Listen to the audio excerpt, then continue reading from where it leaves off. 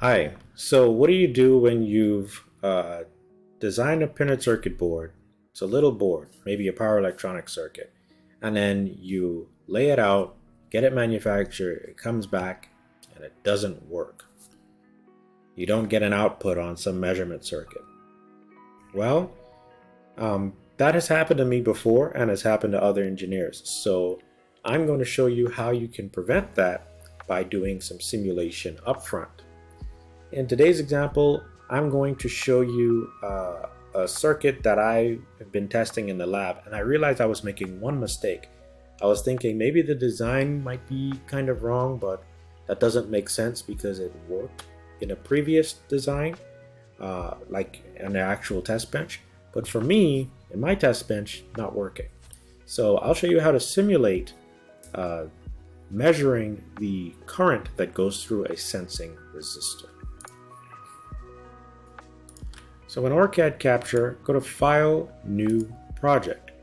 And you want the project to, you know, whatever you want it to be, call it current sense. Enable PSpice simulation and then select the folder that makes sense. So we'll go with current sense. Select folder, click OK. Choose to create a blank project, then click OK. So just as a reference, we're going to be using the circuit like this, and let me give you an idea of how it works. You uh, have a circuit where the current sensing resistor only 100 ohms. There's a current that goes through it, and we are actually going to measure the voltage drop across this 1 ohm resistor, and that voltage will then go into an op amp and be amplified by 15 or 16x, and then come out and get measured that way. So we use our voltage probes to see what the output, the amplified uh, current looks like. Really it's amplifying an input voltage. But we can just do uh, Kirchhoff's voltage law, Kirchhoff's current law to calculate the current. Okay, so let's go and make sure we're on page one of the schematic. Then you would go to place PSpice components. There are parts you can place that can't be simulated, and there are parts you place that that may, that can be simulated. So PSpice component. If you just go to part, it's a toss-up on whether the part can be simulated or not. You need to choose from maybe the analog library, and then you'll get this little symbol to let you know that it has a PSpice model. We're not going to go through all that. Let's go with generic simulatable components. Let's go to place, PSpice component. We need a PSpice ground. So we'll place a couple grounds here according to my reference circuit. So we'll place our PSpice grounds here. And then PSpice component, I need some resistors. So I'll need my 15 kilo ohm resistor, uh, 1 kilo ohm over here, 1 kilo ohm here, 100 ohm here. I'll rotate with R on my keyboard, right click and mode. So if you want to rotate any component, you can hit R on your keyboard. Just as I'm placing the parts, I'll double click on the text and turn it to 15 kilo ohms. Use the right mouse button to zoom in by right mouse button, click holding and dragging a specific area, and there you can see things better. So let's add a generic operational amplifier. Go to place PSpice component discrete and choose op amp. Now I'm going to flip this uh, horizontally. Do that with H on the keyboard and I place it somewhere around there, hit escape to get out of that mode. And now mm, I need a DC voltage source. I can also use a direct current source, but I prefer DC voltage source, VDC. So go to place, PSpice component, source, voltage sources, DC. Place that over there, hit escape. Now I'll wire these components together. Um, I'll choose place wire over here or I can go to place wire from the menu or I can hit W on my keyboard as a shortcut. Alright, so I'm to start clicking in these white boxes to make a connection starting from the components. Right, and we're just uh, laying this thing out like in the reference schematic.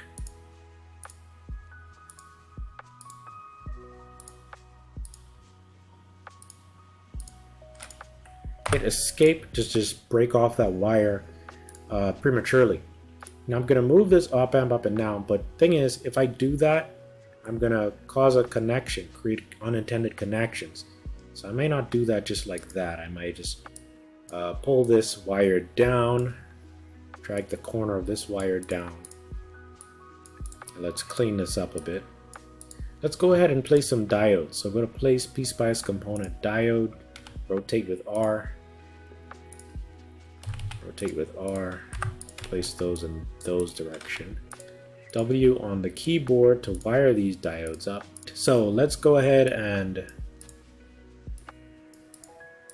do it like this. And I can rotate this resistor. Okay. Sometimes when you rotate a part, it gets disconnected, so you have to reconnect it. You can also drag wires to connect things. And I'll place this ground over here under this power supply. I mean this voltage, DC voltage. Alright, this looks good. Let's hit save with Control S or save icon over here. Now let's start the new simulation profile. We'll do a DC sweep.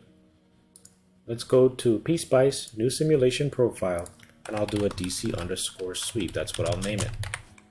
Inherit from none. Root schematic is schematic 1. That's referring to this folder on the left here in the project window. Then click create. So with this simulation, I want to choose uh, a DC sweep. Make sure analysis is selected for your box there, not configuration files, but analysis. Then, then under analysis type, choose DC sweep. For the voltage source, let's choose a name. The name of the voltage source that we'll be sweeping the values for is on the schematic. Do you know the name of it? It's V1.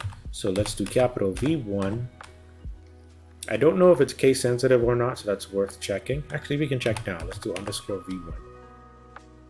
For the sweep type, I want to sweep linearly. I want to linearly sweep the voltage from 0 to 250 millivolts. Why 250 millivolts? Because that's going to give us an appropriate current range, a voltage range to amplify without saturating the op amp. The op amp will saturate at 5 volts on the output, so we're trying to keep it under 5 volts.